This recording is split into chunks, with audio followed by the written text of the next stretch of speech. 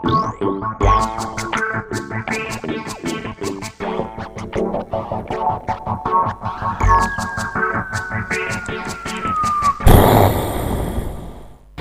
I'm Matt.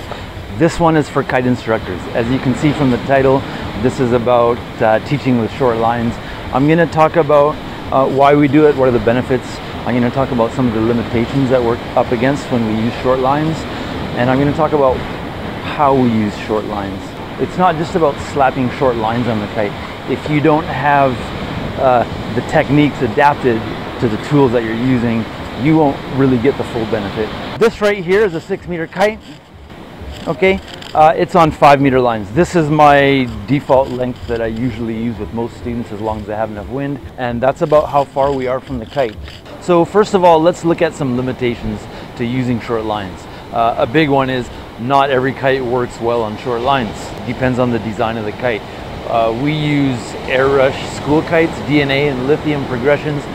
Works work just fine on short lines.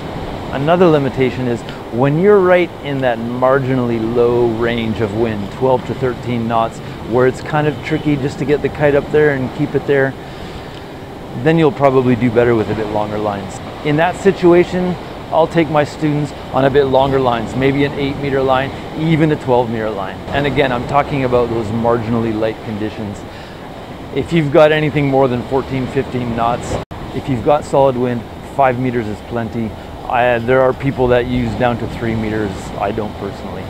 And speaking of 3 meter lines, just for fun, here's a guy riding on 3 meter lines.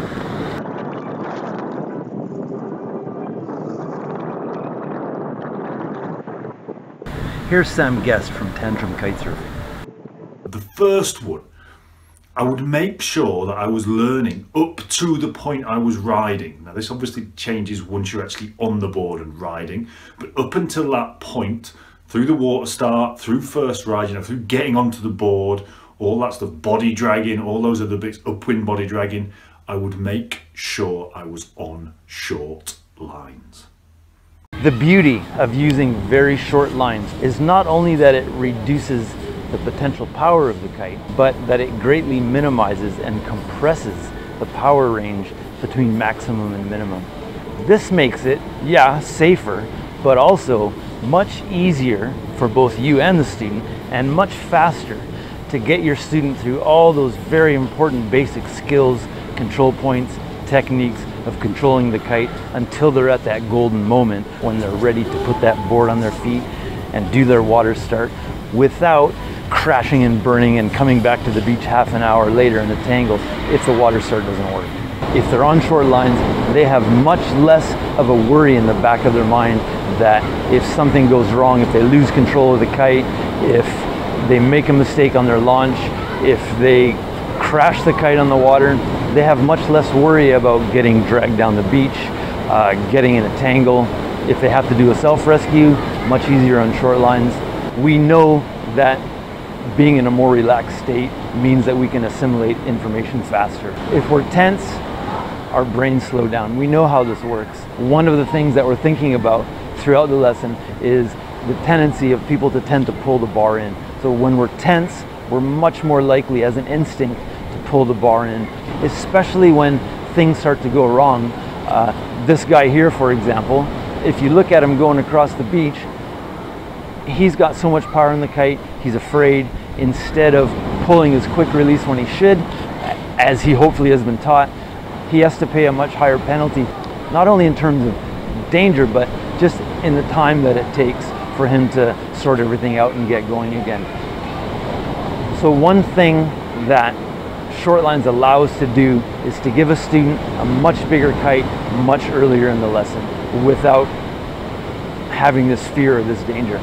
One of the most important skills that a student needs to have in place by the time they're water starting is to be able to control that power at the edge of the window. Being able to use short lines eliminates the need for a trainer kite. Uh, those two-line trainer kites, we were using them 20 years ago. In my opinion, those kites are a waste of time. I've seen people spend an hour or two with their students on there. We use them to help teach the student where the window is, but the problem with those is uh, a two-line trainer kite flies completely differently than the kite that they'll actually be using. When your trainer kite backstalls, we give it a great big tug on the bar to get it back to the edge of the window. Exactly the opposite reflex we want to be putting in our students. So yeah, trainer kites, I never touch them. Uh, my students first are on a six or an eight or maybe a 10 meter kite on five meter lines. I pass it to them. They're holding that kite above their head while they get used to it. And you've just saved your student an hour of pretty much wasted time. Practically speaking, we've been able to get huge time savings by using short lines right through the whole first part of the process. Not just because five meter lines tangle less and when they do, they take a lot less time to tangle, but a body dragger in the water is going to get pulled downwind much less when they're on short lines.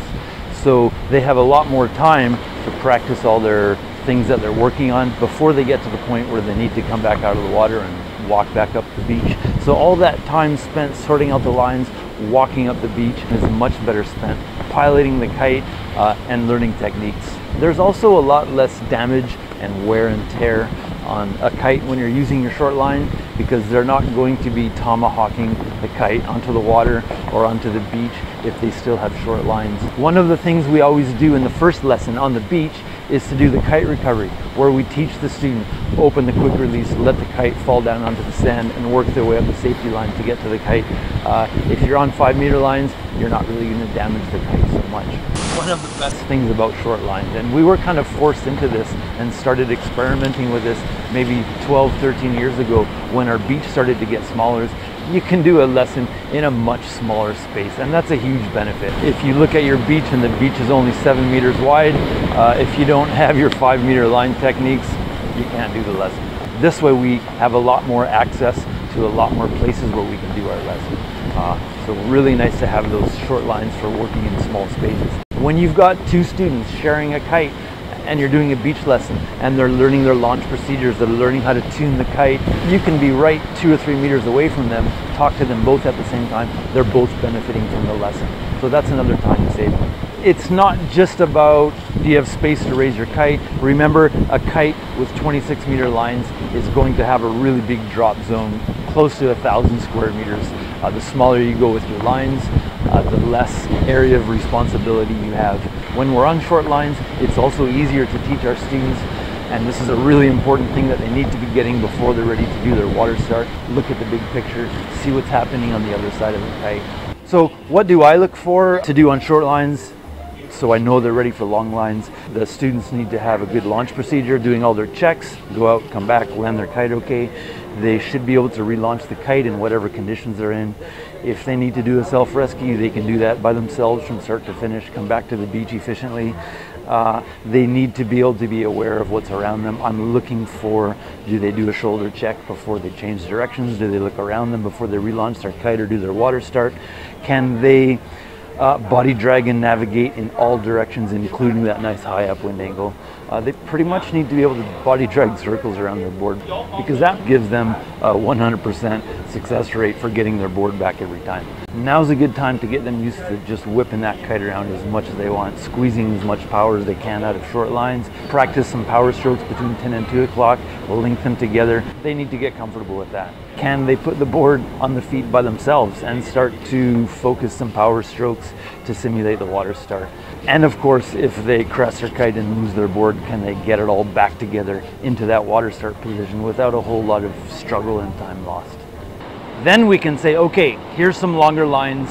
We'll set the board aside for a few runs, explore that bigger wind window a bit, learn how to make effective power strokes, whether large, medium, or small, learn how to link them together and focus the direction. Okay? Now that we've isolated all those skills and worked on them separately, we can put them together for an effective water start that's not going to waste a lot of time or end in a headache. I've got a good friend who's been teaching all sorts of ocean sports for 30 years.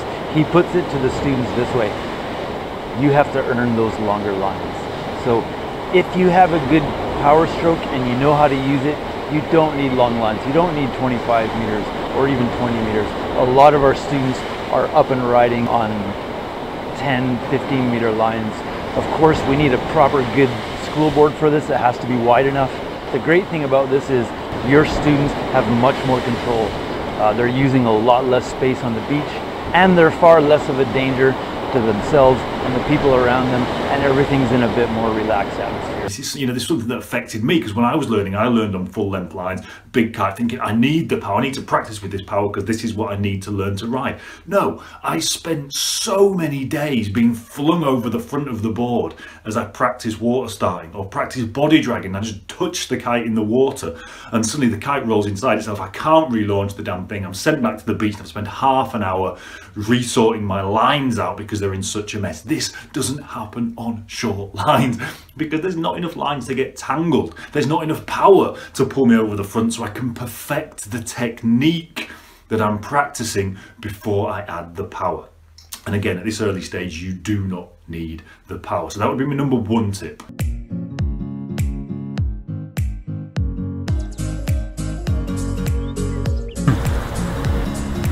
So if your student is practicing the water start and they're getting pulled over the front of the board again and again and again, this is a good indication that they have way too much power and not enough control. You need to go back and help them fill in some gaps.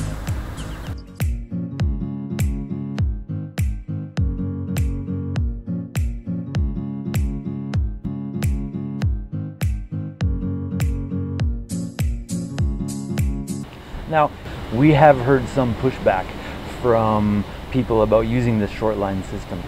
Uh, I welcome that because it gives us the chance, in fact, it forces me to take a close look at how we do things, see where I can or can't justify my position, find faults, improve things.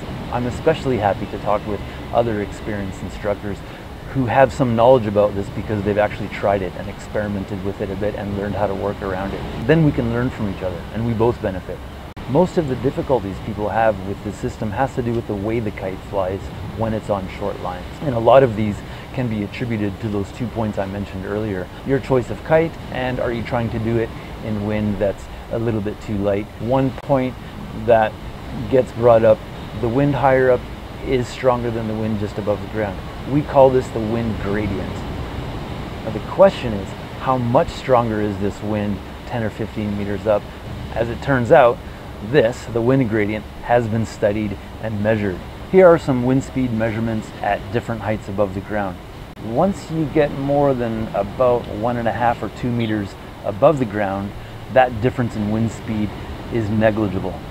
Maybe one or two knots difference between two meters high and 10, 15 meters up. So my friend said to me the other day, sometimes I need a little bit longer lines so that I can get enough power to pull both me and my students out through the waves.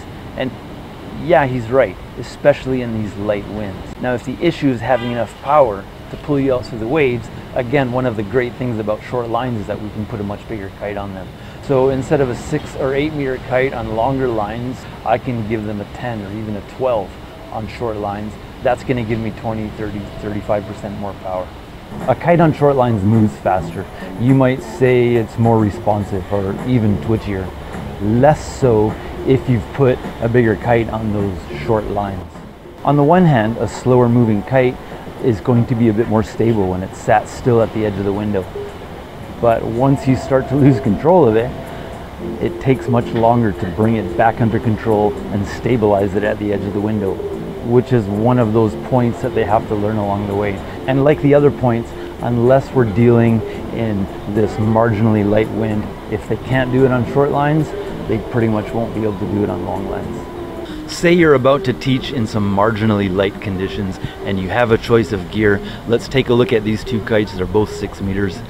The kite on the right is an Airush DNA, great school kite, flies well, can take a beating. Because it's a school kite, it's got reinforcements, it's a little bit heavier than the other kite. Take a look at the wingtips also.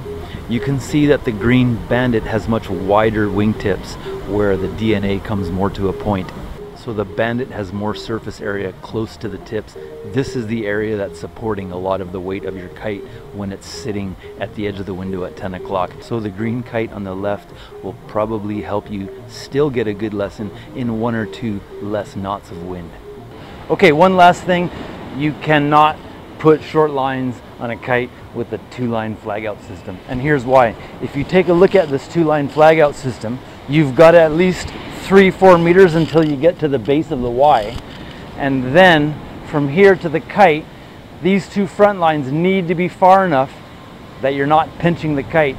So the shortest you can get on a double flag out system is going to be something like 10 meter lines. You need to have either a single line flag out system or a fifth line flag out system. Then on your then on your single flag out system, uh, your kite will still be able to kill its power. Okay, we'll end that there.